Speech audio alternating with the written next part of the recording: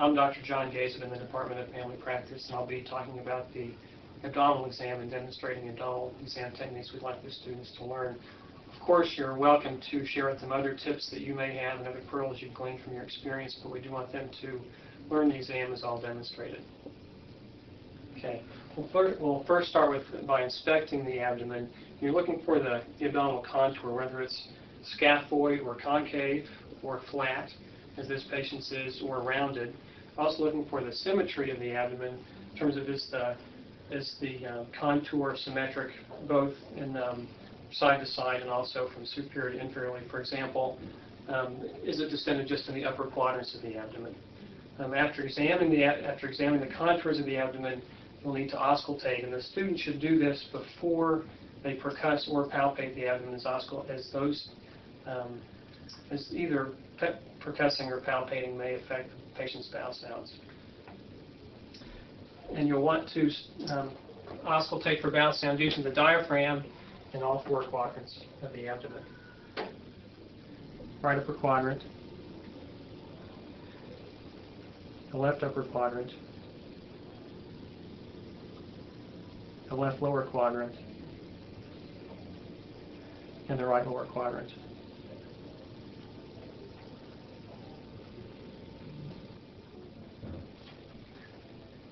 After auscultating for bowel sounds, you'll want to listen for uh, vascular sounds using the bell, because these sounds are typically more low-pitched, and we'll be listening over the aorta, the renal, and the iliac arteries. The aorta is located just to the left of the midline in the hypogastric area.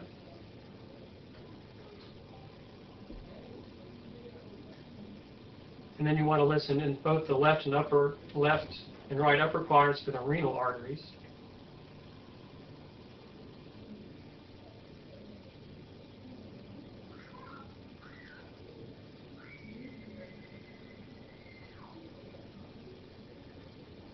And the left lower and right lower quadrants for the iliac arteries. Okay. Then we'll move on to percussing the abdomen, and you want to listen for the, the percussion tone. And over most of the abdomen, the tone will be tympanic due to the, the bowel gas. It's, it's helpful to sort of move in a, uh, just to be sure you assess all four quadrants in a systematic way, although that's not, re not required of the students to do that.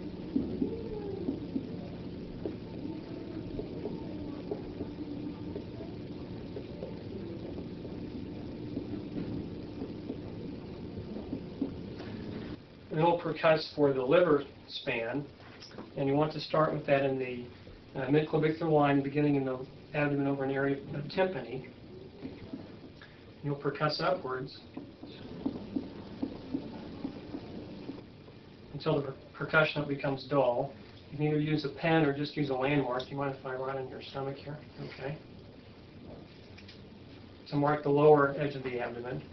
Then you want to begin percussing over the lung fields, again, the midclavicular line, uh, to locate the superior aspect of the liver. And percuss downwards to the superior margin of the liver. Try your chest now. All right. Then you can either use a measuring tape or a pocket ruler to estimate the patient's liver span.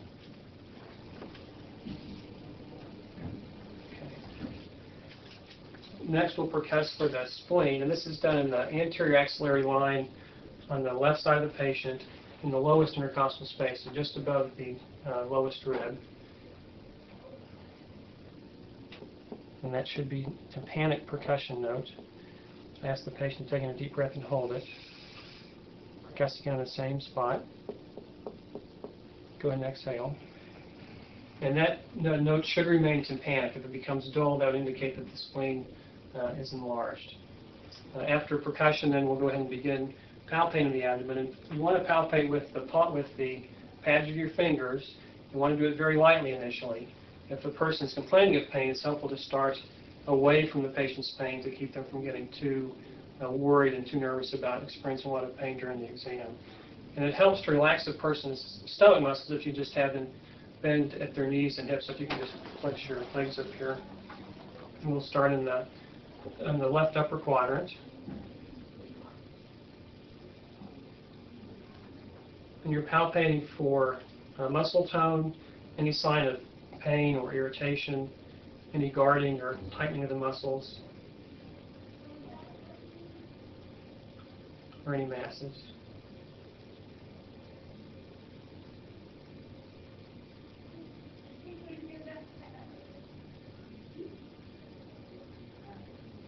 Then want to palpate more deeply. Again, you want to watch for, it's helpful sometimes to watch the patient's face for any signs of pain or discomfort. You're looking for any masses, any pain.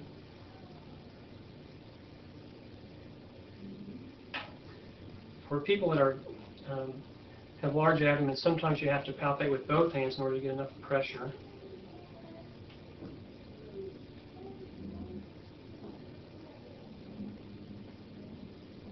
Okay.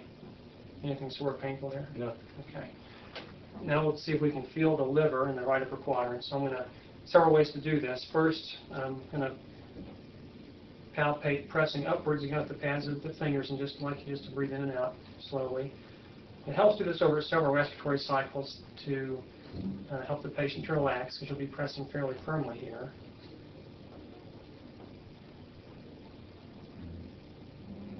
Want you're taking a real, a, a very deep breath. And what you want to try to feel the edge of the liver as it comes down, it will feel it tapping, tapping your fingers. Another way to do this is with the side of your hand, uh, again putting this uh, using the radial aspect of your uh, index finger to push in and again ask the patient to take a deep breath and try to feel the liver margin uh, come down against your, your finger. And another acceptable way, acceptable way to do this is using a hook technique where you reach over the top of the lowest rib and hook your fingers around the rib and ask, again, ask the patient to take a deep breath and try again to feel the liver margins that comes down below the rib cage with, with inspiration. And we're going to see if we can palpate the patient's spleen. And to do that, we're going to take uh, your left hand and place it behind the patient uh, in the lower part of the rib cage. Pull them just very gently and slightly towards you. Then with the examining hand, I'm going to push in, uh, around the middle area of the abdomen and then push upwards very deeply. I'm going to be pushing fairly firmly here. I'd like you to take in a deep breath. And you try to feel the spleen tip, uh, again, just sort of tap against your finger. In normal individuals, you often uh, will not feel the spleen. Okay. Then we're going to check the uh, pulsation of the aorta to be sure that's not enlarged. And we're going to do that with the opposing fingers of your thumb and your index and middle finger. And slide to the left of midline, and you're just in the hypogastric area, and you're going to just push in and the, uh, most of the pulsation should be directed anteriorly towards your fingers. In patients that are large, you may have to push in with both hands from the sides.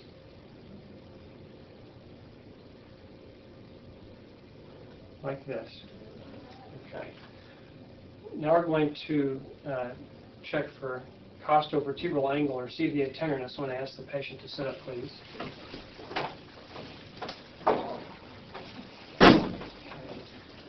You're going to do this by percussing over the kidney, so right below the lowest rib, using the ulnar aspect of your fist. It takes a little bit of practice to do this, so you don't uh, hit either too softly or, or too firmly. So I'm just going to tap right. I want you to tell me if this is particularly tender. Okay. In the normal sequence of the abdominal exam for students be begin with inspection, and to auscultate for bowel sounds and for vascular sounds, to percuss, to palpate, and to check for CVA tenderness.